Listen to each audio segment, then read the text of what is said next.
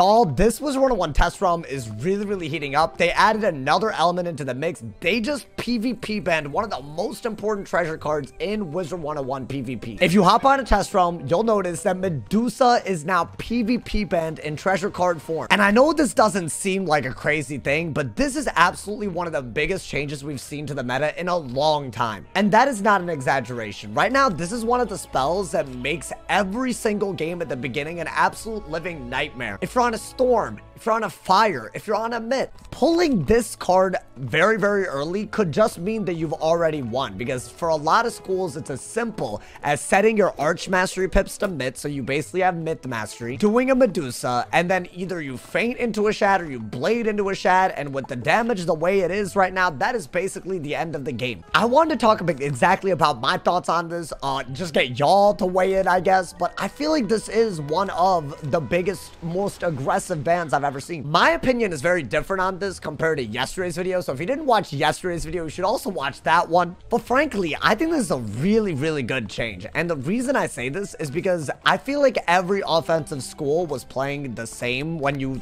when you think about it. They were going for a stun block a blade, an aura, and they were threatening a Medusa if your opponent hadn't already stun blocked themselves. That's super, super linear considering we're talking about many, many different schools with many, many different strengths. This was a very invasive card. I'm gonna be honest, I feel like the Medusa meta was so crazy that people were literally basing their whole pins off of it. Like, for example, right? Adept doing storm stuff, that makes sense. But most people, especially if they were on a storm, a death, a fire, they would do anything under the sun to just get more myth damage damage. So all their pins would be myth oriented and they would actually get like a thousand damage from the Medusa.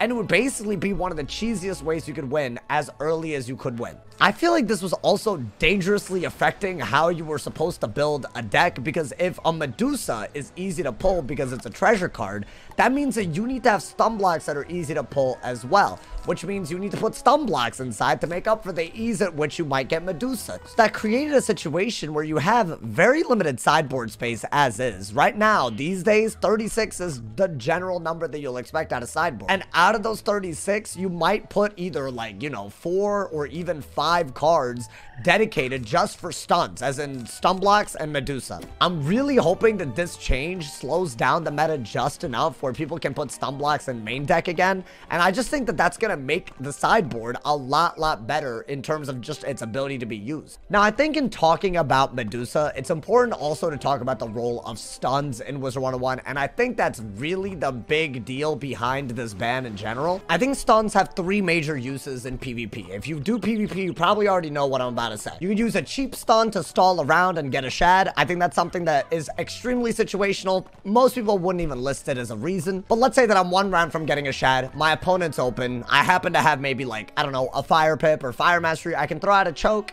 and then I get my shad and then I send the shad. The second use is to run out a round of strike. The meta has sped up so much that that one round that you don't stun block before going into strike if your opponent doesn't stun you, will win you the game. So that's another reason why stuns can be used, right? If someone is just really just putting the, you, you know, they're, they're, they're, they're not hitting the brakes at all. They're just trying to go into strike and kill you as soon as possible. If they're not stun blocking and you can dispel and stun, chances are you've already won right there. So it is a very good check against strike. And the third use, which I think is what Medusa was really doing, is to combo. Ideally, when you're comboing, you probably have some sort of buff already. Your opponent has maybe a weakness on you or a tower shield, you clear the weakness, you clear the tower shield, and now you have two rounds to stack even more buffs into a shad. So this third role that Medusa has in comboing, I think Myth Banshee is gonna replace it. I have a feeling that Myth Banshee is gonna be the new extremely important spell to have if you're a hard-hitting school and you do want to punish a lack of stun blocks. Unlike Medusa, you don't have two rounds to buff out of it and hit. Like, you know what I'm saying? It's only one round. Eh, so I don't really think it's that crazy. The damage is also low enough where you're not getting damage from it by pinning the myth so I hope they don't really pull up. But wait, there's more thing and also get Banshee out because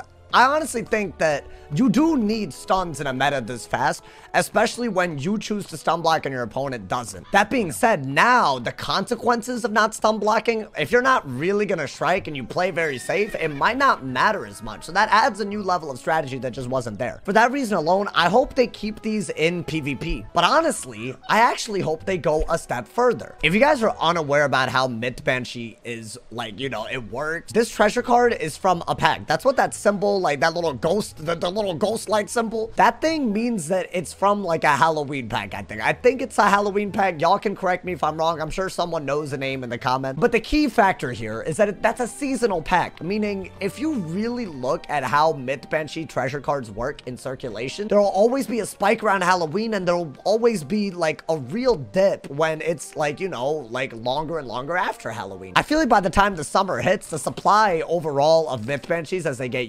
used will make it so that this becomes rarer and rarer. In the past, Wizard 101 has resolved issues when it comes to rare TCs, forming like some sort of like, you know, gate, you know, like it almost like it gatekeeps PvP a little bit.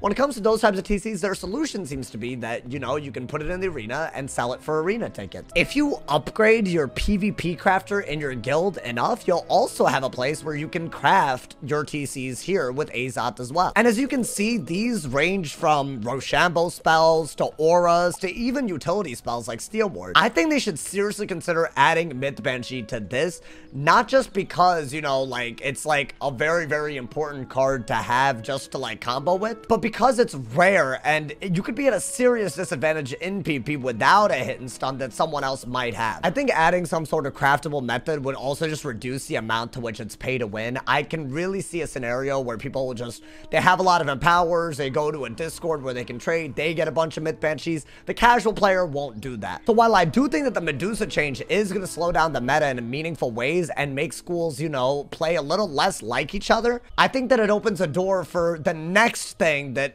fulfills the role that Medusa does to like take over in terms of importance. And while Myth Banshee is not as powerful as Medusa and it won't break the game the same way in my opinion that Medusa was, it could create a lot of accessibility issues. So I do think they should deal with that as as easily as they can with something like a crafter, maybe something where it drops, just something that's not pay to win or seasonal. I think that would that, that, that would work really well, specifically considering Myth Banshee, because I think that's like a very specific problem with that specific treasure card. I feel like compared to the other treasure cards that they PvP banned, I feel feel like this one makes a lot of sense to me. There's a little bit more breathing room, a little bit more wiggle room. Stun blocks are still important. Stuns are still going to be important. It's just they're not going to end the game for you anymore. And I think that's something to celebrate, especially if you do PvP at all levels, at any levels. I'm sure this affects anybody. Let me know what you guys think of this change. Did you guys like how Medusa used to be like able to be used on every school? Do you guys like the approach that they're taking with the PvP ban? I'm sure there's a lot of opinions on this, so I look forward to reading all of y'all's comments. As always, drop a like if you enjoyed, leave a sub if you're new, and if somebody hasn't told you awesome today, they doing something. I'll see y'all soon. Stay awesome,